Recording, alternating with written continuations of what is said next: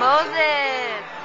This is my friend Moses from Rwanda, and we're just here at Disneyland having a fun time, waiting in line at Space Mountain with our new friends. What do you have to say, Moses? I love you. Speak your, speak your mind, son. Moses is a little shy. What's this?